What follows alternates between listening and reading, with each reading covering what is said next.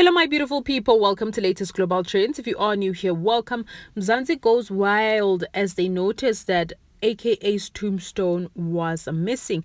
Now, it is not missing, guys. Apparently, it was removed. According to the citizen, it is written Authentic Stone Operation Manager Josh Kemp confirmed to the citizen that the tombstone was not stolen but taken back by the stone mason because it could not be installed on the same day as the burial. He said the tombstone was removed to prevent it from sinking into the ground, and the family was aware that the tombstone was removed after the burial.